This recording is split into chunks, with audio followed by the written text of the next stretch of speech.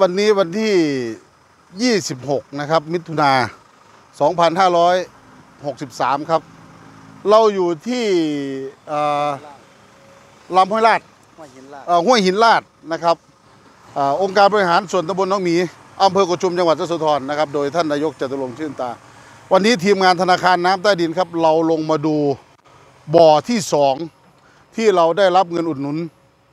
เฉพาะกิจนะครับจากกรมส่งเสริมการปกครองท้องถิ่น วันนี้ดำเนินการครับตรงนี้บนพื้นที่กี่ไร่ท่านพอ21ไร่ครับอ่าบนพื้นที่ 21 ไร่ครับ มันแห้งแล้งนะครับ ดูฝั่งโน้นครับ แห้งแล้งนะครับ ไม่มีน้ำนะครับ เก็บน้ำไม่ได้นะครับ ตรงนี้ก็เลยมันตื้นนะครับ มันไม่มีน้ำมันไม่ถึงหินอุ้มน้ำระบบธนาคารน้ำใต้ดินมันไม่ทำงาน วันนี้ทางท่านพอกองช่างนะครับ ท่านสุเวชนินแสงนะครับ ท่าน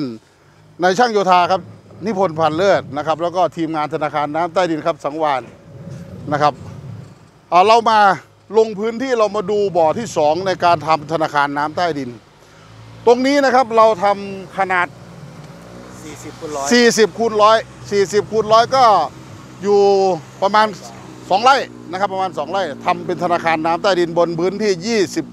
20 21 ไร่ เพื่อรองรับน้ำทั้งหมดนะครับมวลน้ำทั้งหมดที่จะมาลงตรงนี้นะครับกิโลเมตรลงอ่าบนพื้นที่ 5 ตารางกิโลเมตรลงบ่อนั่นหมายความว่านะครับ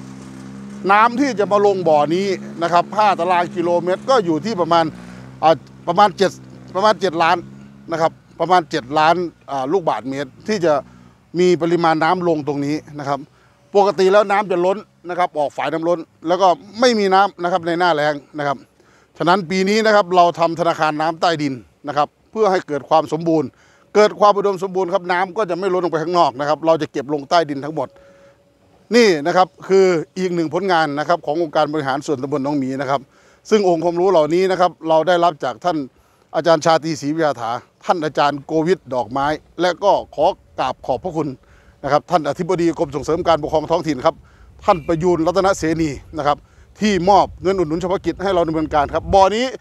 6 4 0 0 0 0 บาทครับเป็นบ่อที่ 2 นะครับโปรดติดตามธนาคารน้ำใต้ดิน องค์การบริหารส่วนตำบลน้องหมีต่อไปครับ